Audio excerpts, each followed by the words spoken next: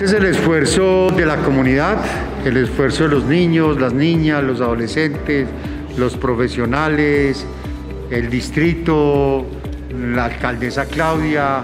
Esta es la ciudad de Bogotá, esta es una respuesta eh, que queremos darle a la ciudad, al país y al mundo de cómo en zonas rojas, zonas complejas en seguridad, en muchas problemáticas criminales, la respuesta de la administración es el arte. Y esto es gracias a todo el equipo del distrito. Yo creo que, aunque te lo cuenten, me lo habían contado, me habían contado lo que pasaba aquí. Incluso me habían enseñado alguna foto. Pero la verdad es justo lo que has dicho, es la experiencia. Hay que, ver, hay que venir y verlo, hay que sentirlo.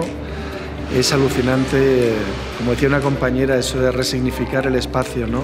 Lo que habéis hecho con este lugar. Se está todavía cargado, ¿no? La arquitectura, las barras, ¿no? Cargado de aquello que fue, ¿no? Tan tremendo, de trata, ¿no? De oscuridad, de falta de libertad y cómo eso como ha transmutado alquímicamente, digamos, ¿no? en algo, un espacio de libertad, un espacio de belleza, un espacio de, de juego, un espacio de futuro. Y yo creo que esto lo tiene que conocer mucho el mundo, la verdad, en América Latina, lo tiene que conocer en Europa también, ¿no?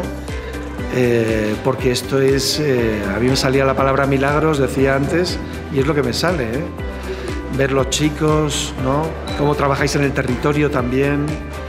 Así que nada, yo, bueno, muy emocionado, la verdad, muy agradecido por los regalos. Aquí me llevo joyas, me llevo cuadros, me llevo recuerdos y lo que sí os prometo es que lo voy a contar y lo voy a contar, eh, bueno, allá por donde pase.